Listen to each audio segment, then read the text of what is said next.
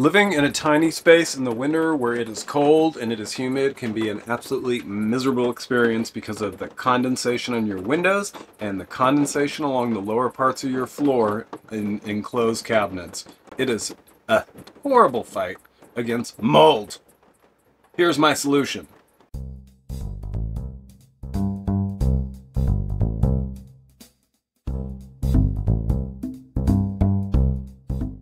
So this is the little machine that changed my life living in this small space during the cold winter. This is an Ivation desiccant dehumidifier. So just like those canisters you can get or those bags that you hang uh, to take moisture out of the air, same principle except this has a wheel spinning inside of it with desiccant and it blows warm air over it, constantly having the desiccant release its moisture. So it's just constantly renewing itself is what it's doing. And you can set the humidity from 35 to 85 with this button right here. So like at night when it's cold I set it at 35 and it'll bring it down to 35 and then once it gets up to 40 it starts again. Or you can just run it continuously. So during the day I do that because this little machine will pretty much heat my little tiny house as long as it's not below 40 degrees outside. And there's a canister on the side of it right here that you just pull out and empty. And I have to do that twice a day.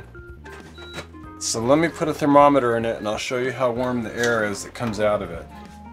I just move this manually to direct the air, but you can also put it on swing and it'll swing back and forth. So it looks like our temperature gets up to right at about 107 degrees, which is pretty darn warm for the winter heating your little tiny house.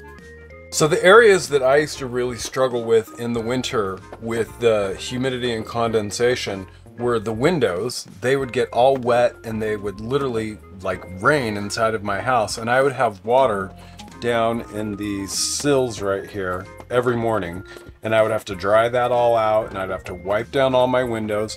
And also underneath this huge cabinet in the kitchen, I had tremendous issues because along that edge of the wall down at the bottom, it would get so cold, the actual wall would start to condensate. And I'll show you under here.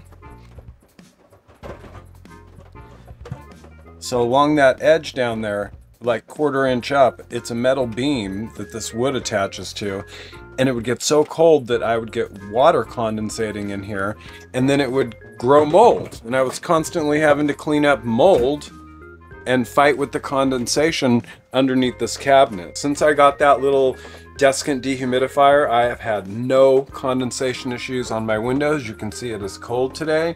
It is raining outside and my windows are dry as a bone. Where I live, what we struggle with is high humidity. You can see right here, it's 96% humidity during the day today, and it'll be 99% humidity during the night, and it'll be cold. That is a big problem in a tiny house because it will cause you all kinds of condensation issues. Not to mention cooking in here and just breathing at night. Like, I looked online, I think you like exhale up to a half a pint of water just out of your own self during the evening. So before I got that desiccant dehumidifier, I did try a regular compressor dehumidifier, but because it's cold where I live in the winter, it would freeze up and it would just become ineffective. So I got rid of that sucker right away. And before I got that, I had a little dehumidifier that was a thermoelectric one that allegedly dehumidifies up to 225 square feet and I only live in like 72 but it did absolutely nothing. So it was just a constant battle with humidity and mold and constantly having to clean that up and fight against that.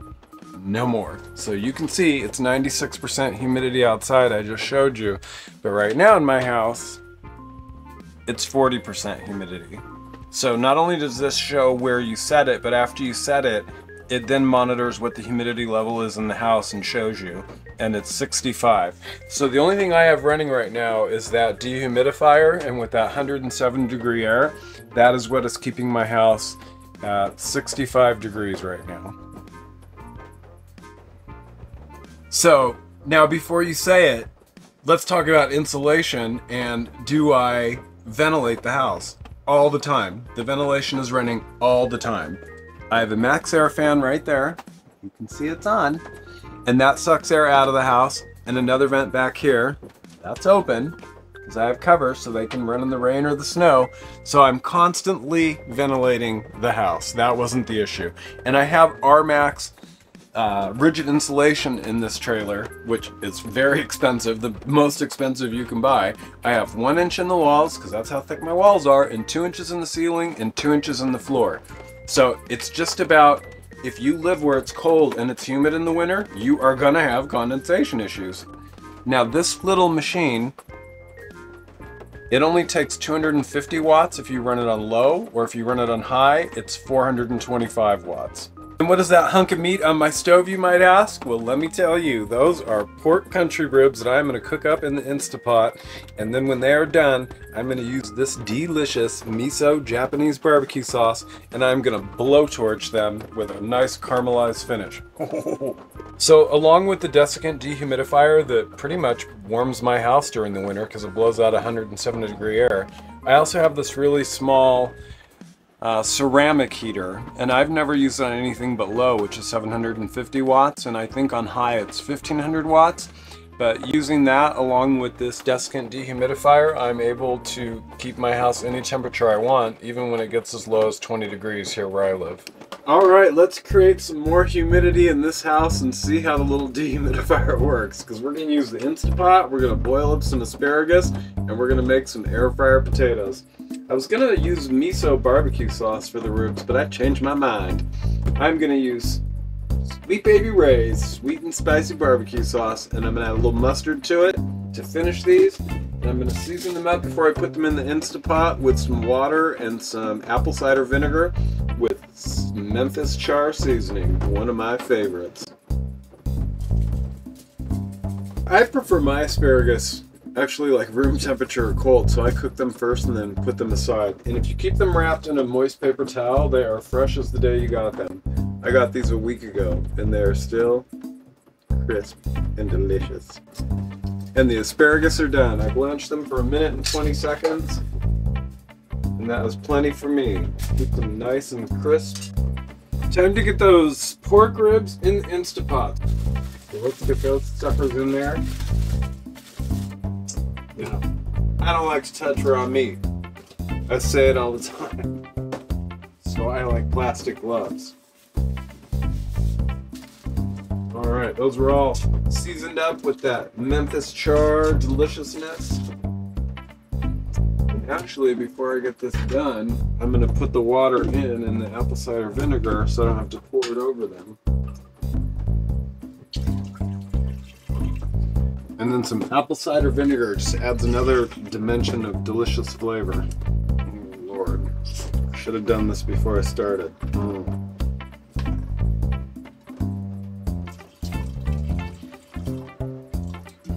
Perfect.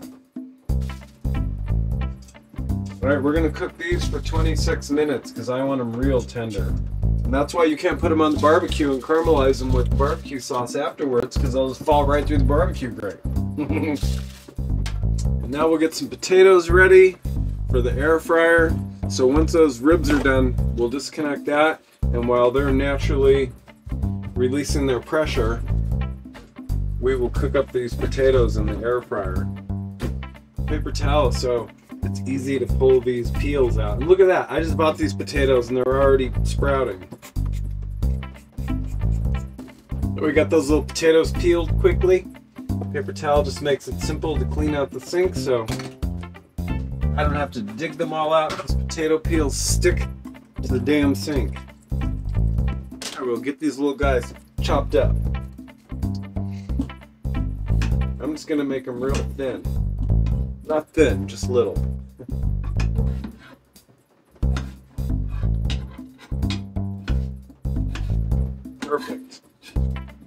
So our timer has gone off for those ribs in the Instapot. Time to get the potatoes in the in, Insta, in the air fryer.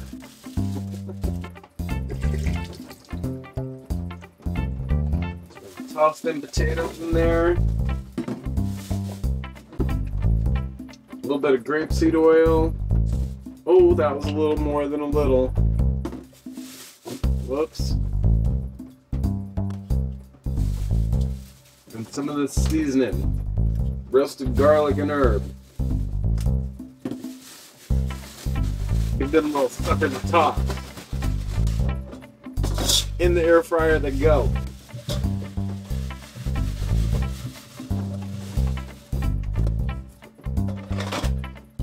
Okay, why I wouldn't recommend that you do this in your home.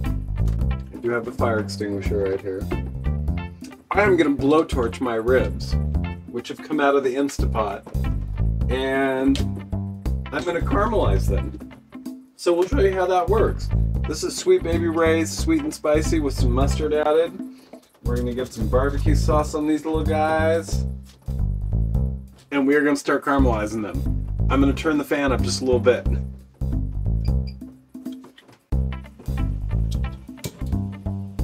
And we're off. About that? So we just want to give them some caramelization. It's pretty quick.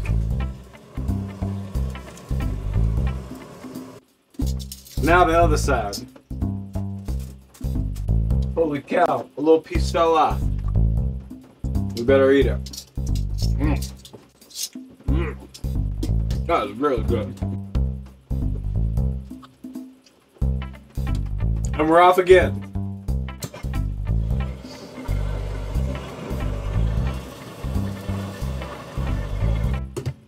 So the main reason I changed from using the miso Japanese barbecue sauce tonight was because I wanted I was gonna use rice, but instead I wanted to use potatoes because I want to try this habanero ketchup that my friend gave me. But first we gotta make a quick lemon infused pepper mayo for the asparagus. So I like to just take my room temperature cold asparagus, preferably cold, I've had mine in the fridge and eat them like french fries and I just dip them in my sauce. If the sauce would come out. So some mayo, some lemon juice, and some pepper.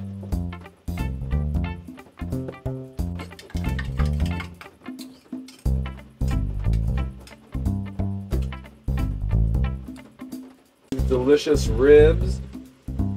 See, they just fall apart. They're so good. Mwah. Our asparagus. Nice and chilled from the refrigerator. And our delicious air fried potatoes.